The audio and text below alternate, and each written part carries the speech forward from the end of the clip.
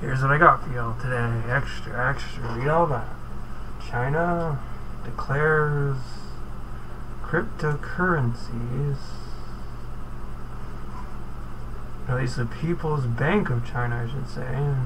Makes me wonder if it's a, if that stands for China in its entirety. Declare that virtual currency related business activities are legal financial activities. It's got me thinking about the term?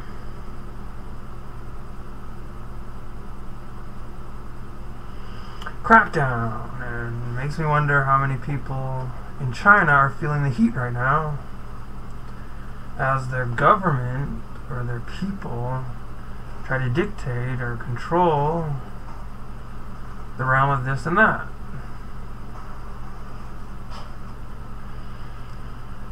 Now I'm just wondering what it's why they released such a statement in the first place. Was it because their Chinese leader feels it's a distraction from doing it the way of the pilgrims? Not that I know much about the pilgrims that led themselves to China. For I don't live in their country, even though at times it feels as if I do.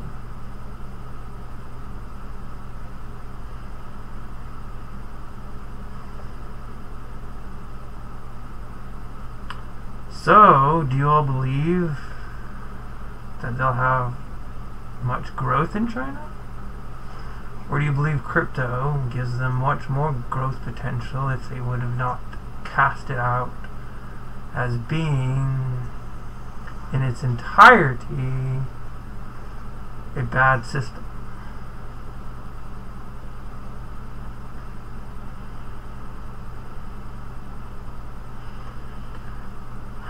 Alright, well, there's many companies based in there's many crypto companies I should say based in China that probably have to reallocate their uh, their servers or relocate I should say their servers to another country now assuming China lets them leave doesn't confiscate their equipment and all the uh, user accounts associated with all these uh, crypto businesses.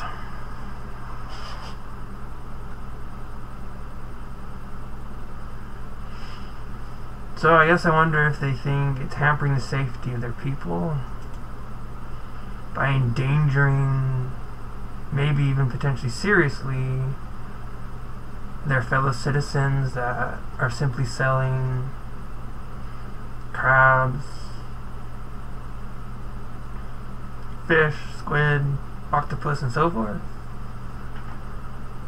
Do the market, people the market feel they're being stolen from if it's based on a crypto purchase that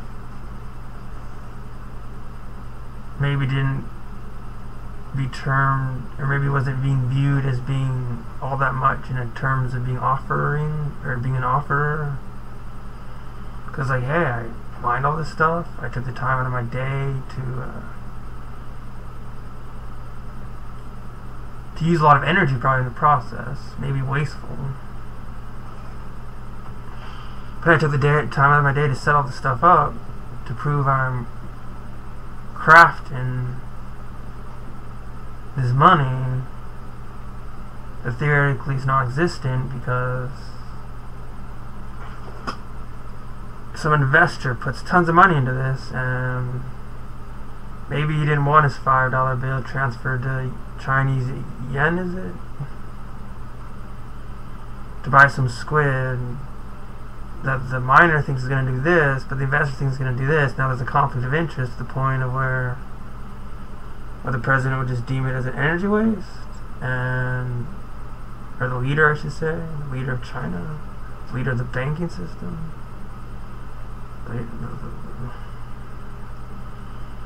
Back to the point, I guess it's quite a foreign country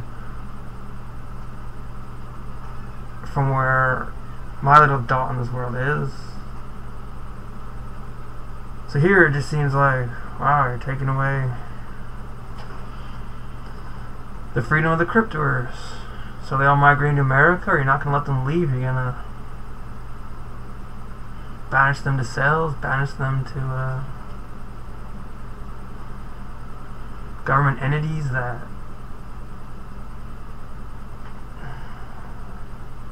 send all our poor brains plummeting to the ground, offering a sense of please forgive me for my